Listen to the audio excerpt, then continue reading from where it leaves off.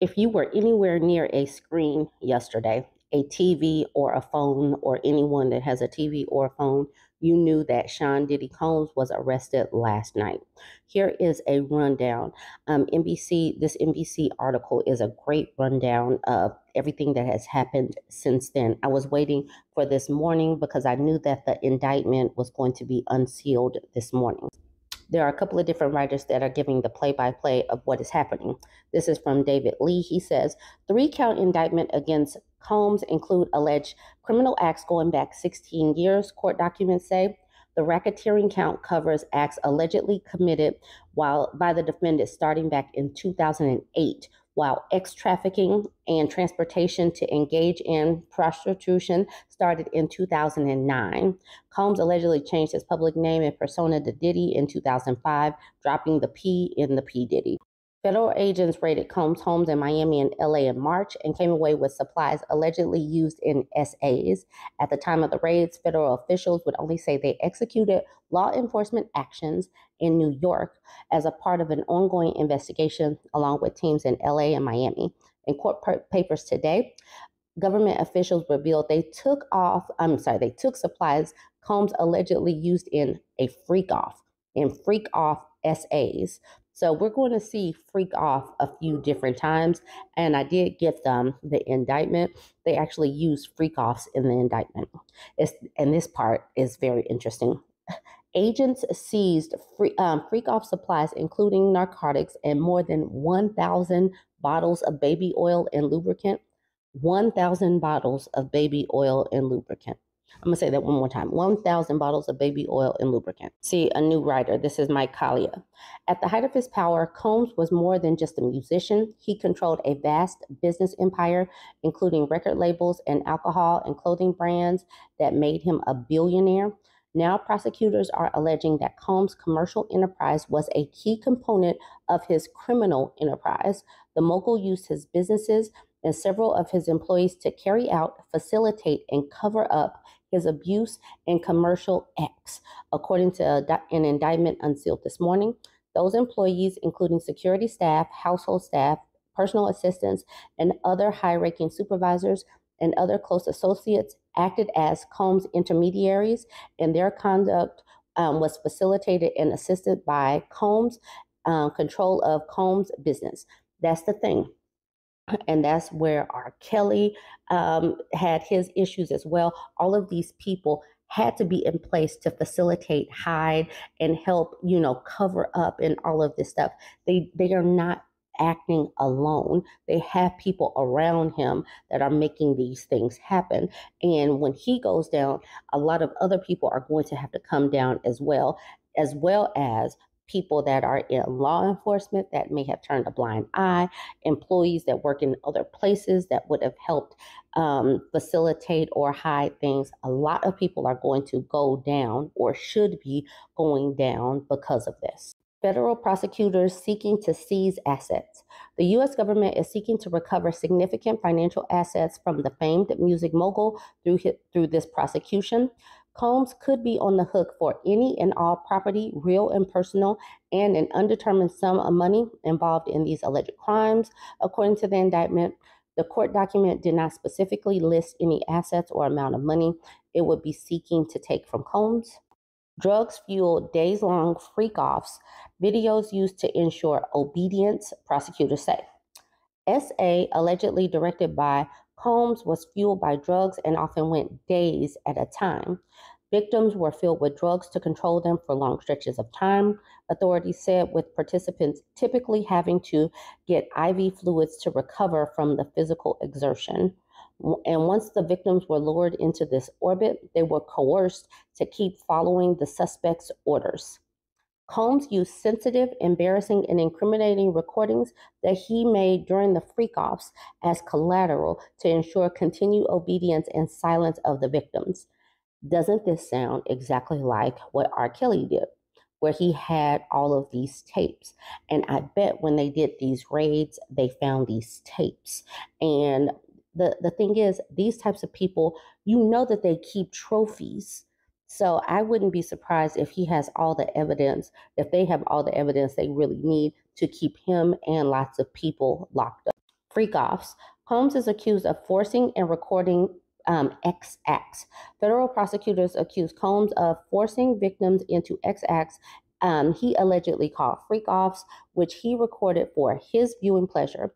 Combs used force to cause victims to engage in extended X acts with male commercial ex workers that Combs arranged, directed, self pleasured during, and often electronically recorded. The defendant called these acts his freak offs if he's using all of these commercial ex workers, this is going to be wild because that means that there are a lot of people that can speak to the things that have happened. Combs allegedly used his powers to abuse, coerce, and fulfill his sexual desires. The charges against Combs allege he threatened and coerced women and others around him to fulfill his sexual desires for years. Combs created a criminal enterprise whose members and associates engaged in various crimes such as ex trafficking, forced labor, kidnapping, arson, bribery, and obstruction of justice.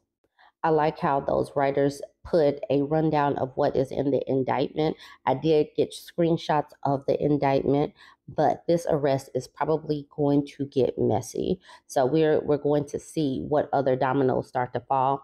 This all started with Cassie in that bombshell lawsuit that she did last year, and he has been in a find out season ever since then. This is going to this is going to definitely be crazy. You know, people on Twitter had some thoughts. I wanted to bring this in from Jemele Hill. She says, "I know everybody is going to get these jokes off about Diddy and by extension R. Kelly, but think of the numerous Black women whose lives were ruined by these horrendous people. The narrative is not another Black man got taken down because this ain't got to do with Black men as a whole. The narrative is thank God these women are finally getting the justice they deserve. And if you don't give a gosh darn about Black women, please know and understand that some of his victims were also men. You should want somebody who is allegedly a monster to be locked away where they deserve to be. Art Candy says since Diddy was just arrested in New York following an indictment for alleged ex trafficking, seems a good time to point out he used to hang out with Donald Trump and he's an investor on X. So here's Diddy with Donald Trump. Here's Diddy with a younger Donald Trump. And here's Diddy with Elon Musk. I'm probably going to have to use this picture again just to solidify that a lot of these people hung out with other people that are probably also monsters. Okay, so the anonymous nobody says Black Rob died homeless. Shyne said in prison for nine years. Cassie got abused for years, all while Diddy was out here acting like he was this good guy who wanted to see everybody win. On top of that, he had a mohawk. Okay, he had a mohawk. That's what we should be rounding that off with. And I'm just going to skip down here to Kyra. R. Kelly seeing Diddy walk into prison, and he's smiling. So that is just a quick rundown of what is going on. I am going to look at the indictment and give that its own post. Um, but, you know, still go ahead. Let me know what you think about all of this so far. Drop your initial thoughts um, when you first saw it go down up until this point with the freak offs and the bottles of baby oil and lube and all of that. I think that I think this dude, I think they really solidified their their case before finally sealing the deal. Jump in the comments, let me know what you think. Don't forget to like, comment, and share. I'm about to get into this Sean Combs unsealed indictment, but I did want to start off this post with this tweet, this picture of um, Trump, Donald J. Trump, who is currently running for president, and Sean Combs. And this person, WTF GOP, says, Why are all Trump's friends ex traffickers? There are pictures everywhere of Sean Diddy Combs with him and Jeffrey Epstein. Hmm, really weird. The, the party, the GOP, they like family values, but they also like this man. So strange. All right, let's get into this indictment. All right, so let's try to read through this. The United States of America versus Sean Combs, count one, racketeering conspiracy. The grand jury charges Here is the overview. It says For decades, Sean Combs, the defendant, abused, threatened, and coerced women and others around him to fulfill his actual desires, protect his reputation, and conceal his conduct. To do so, Combs relied on the employees, resources, and influences of the of the multifaceted business empire that he led and controlled creating a criminal enterprise whose members and associates engaged in and attempted to engage in, among other crimes, ex trafficking, forced labor, kidnapping, arson, bribery, and obstruction of justice. Sean Combs, um, the defendant, operated his business headquartered at various times in Manhattan and LA under a variety of United States label corporate entities, including Bad Boy Bad Boy Entertainment, Combs Enterprises, and um, Combs Global, collectively the Combs business. Corporate entities in the Combs business included, among other things, record labels, a recording studio, an apparel line, an alcoholic spirits business, a marketing agency, and a television network and media company. At times, um, I'm sorry, at all times relevant to this indictment, Sean Combs, the defendant, engaged in a persistent and pervasive pattern of abuse towards women and other individuals. This abuse was at times verbal, emotional, physical, and actual. As part of his pattern of abuse, Combs manipulated women to participate in highly orchestrated performances of actual activities with male commercial ex workers. At times, Combs and others acting at his direction made arrangements for women and commercial ex workers to fly to Combs' location.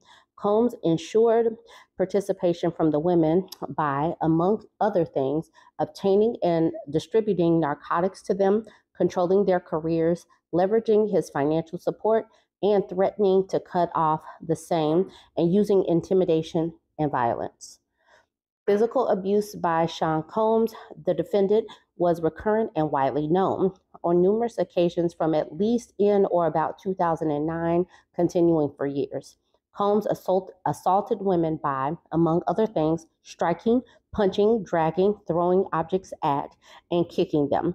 These assaults were at times witnessed by others, and including one instance at an LA hotel in or about March 2016 with Cassie, um, which was captured on video and later publicly reported, where Combs kicked, dragged, and threw a vase at a woman as she was attempting to leave. When a member of the hotel security staff intervened, Combs attempted to bribe the staff members to ensure a silence. Combs' violence was not limited to these women. It extended to his employees, witnesses to his abuse, and others. Sean Combs, the defendant, including certain employees, I'm sorry, used the Combs business, including certain employees, to carry out, facilitate, and cover up his abuse and commercial acts. These employees, including security staff, household staff, and personal assistants, and high ranking supervisors and other close associates, acted as Combs intermediaries, and their conduct was facilitated and assisted by Combs' control of Combs' business. The Combs Enterprise. From at least in or about 2008 through on uh, or about the date of filing this indictment, Sean, Sean Combs, the defendant, and others, known and unknown, were members um, and associates of a criminal organization, the Combs Enterprise or the Enterprise. Members and associates of the Combs Enterprise engaged in and attempted to engage in, among other activities, ex trafficking, forced labor, interstate transportation for purposes of prostitution, coercion, and enticement to engage in prostitution, narcotics offenses, kidnapping, arson, bribery, and obstruction of justice. The Combs enterprise, including its leadership, its members, and its associates, constituted an enterprise as defined by Title 18, United States Code Section um, 1961 4, that is a group of individuals associated in fact although not a legal entity. The Combs enterprise consists of Sean Combs, the defendant, entities within the Combs business, including but not limited to Bad Boy Entertainment, Combs Enterprise, and um, Combs Global, individuals employed by and associated with Combs Business, and others known and unknown. The Combs Enterprise constituted an ongoing organization whose members functioned as a continuing unit for a common purpose of achieving objectives of the Combs enterprise. Okay, so this is a lot just talking about his business. Um, the purposes of Combs uh, enterprise, I'm not going to do that. I'm going to skip past that. Okay, I'm going to start back up here. Combs and other members and associates of Combs Enterprise wielded the power and prestige of Combs's role at Combs Business to intimidate, threat, and lure female victims into Combs' orbit, often under the pre- pretense of a romantic relationship. Combs then used force, threats of force, and coercion to cause victims to engage in extended X acts with male commercial workers, um, ex workers that Combs referred to as, among other things, freak offs. Freak offs were elaborate and produced X performances that Combs arranged, directed, and self pleasured to during and often electronically re- recorded. In arranging these freak offs, Combs, with the assistance of members and associates of Combs Enterprise, transported and caused to be transported commercial ex workers across state lines and internationally. Freak offs occurred regu- regularly, sometimes lasting multiple days, and often involved multiple commercial ex workers. During freak offs, Combs distributed a wide variety of controlled substances to victims, in part to keep victims obedient and compliant. Sometimes, unbeknownst to, vic- to, the victims, Combs kept videos he filmed of victims engaging in X acts with commercial ex workers. After freak offs, Combs and the victims typically received IV fluids to recover from the physical exertion and drug use.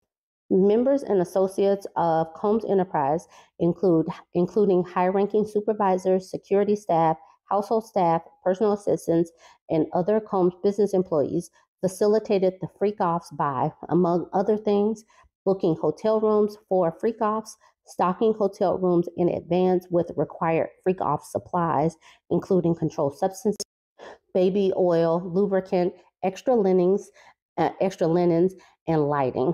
Cleaning the hotel rooms after the freak offs to try to mitigate room damage, arranging for travel for victims, commercial ex workers, and Combs to and from freak offs resupplying Combs with requested supplies, delivering large sums of cash to Combs to pay for the commercial ex workers, and scheduling the delivery of IV fluids.